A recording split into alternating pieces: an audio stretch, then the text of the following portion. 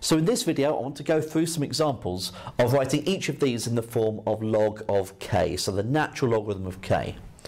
So for our first example there, natural log of 12 take away natural log of 3, we can use the quotient rule to write that as the natural log of 12 over 3, which is the natural log of 4. So in this case, k equals 4. For the second one, we have 4 times the natural log of 3, so using the power rule, we can write that as the natural log of 3 to the power 4. And 3 to the power 4 is 81. So that's the natural log of 81.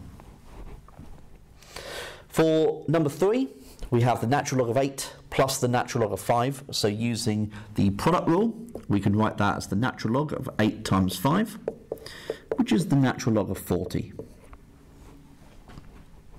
For number 4, we have 2 times the natural log of 2 plus the natural log of 6. Now, before we do anything, we must use the power rule to bring the 2 up to the power here. Okay? We can't use the product rule straight off the bat. You've got to deal with the 2 in the front of the logarithm first. So this is the natural log of 2 squared plus the natural log of 6. So that's the natural log of 4 plus the natural log of 6 which is the natural log of 4 times 6, which is the natural log of 24. Okay.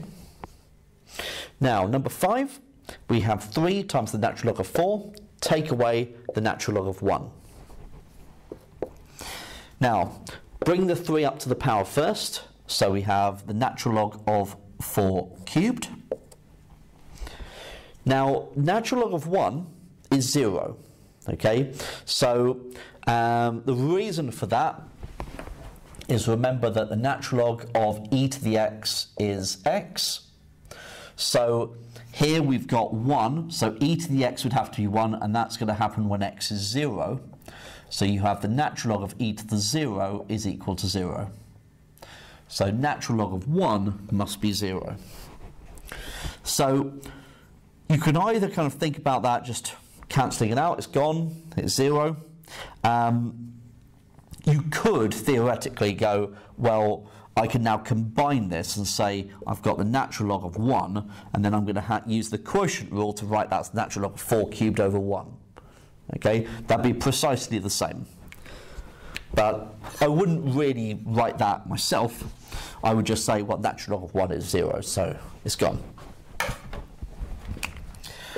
So, natural log of 4 cubed is the natural log of 64. Okay, and we're done.